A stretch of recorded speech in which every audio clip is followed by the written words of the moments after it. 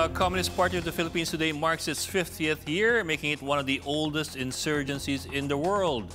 Is peace any closer now than when the rebel group started? Kay Imson takes a look.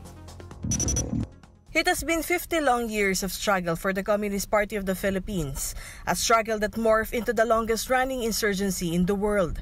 In all, the communist rebels have engaged in over 40 rounds of peace talks with seven presidents of the Philippines. The talks under President Duterte started on a high note. The president had repeatedly engaged with communist rebels during his stint as Davao City Mayor and proclaimed a sympathy for their cause. At one point, the president even declared himself a socialist and expressed the possibility of a coalition government with the Communist Party. Duterte went to the extent of hosting rebel leaders and prominent members members of the left in Malacanang and appointing three of them to his cabinet. But it has been a love-hate relationship for the past two and a half years. Sometimes the president calls the rebels comrades, other times he calls them terrorists. Last year, the president called it quits and signed Proclamation 360 to formally terminate the negotiations with the rebels. The president says this is because of continued taxation by rebels and attacks on government troops. Defense Secretary Delfin Lorenzana says the rebels are to blame for the shifts in the president's mood.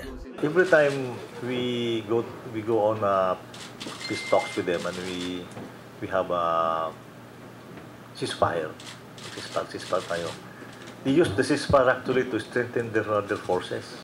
Communist Party of the Philippine founder Joe Masison defends rebel recruitment activities. Ang pagre-recruit, ang pag-organize, tulad ng uh, pag pagpapahayag ng posisyon uh, at pagmobilisa ng masa sa mapayapang paraan, ano yan? Mga basic democratic rights yan. Hindi pwedeng ipatigil ng militar kapag may ceasefire. Kalukuhan yan. Uh, kakitiran ng isip ng militaryo. Season also claims the military has been sabotaging all peace efforts from day one. He said that while the rebels were asking for socio-economic reforms, the military was simply asking for total surrender of the rebels. Hindi mo basta-basta pwedeng imaniobra na mag-surrender. May mga prinsipyo ang mga revolusyonaryo. Uh, huwag na tayo makipag-usap sa kanila eh, dahil ayaw nilang uh, mag, mag, dito ng disarmament eh. The Duterte administration has seen several firsts.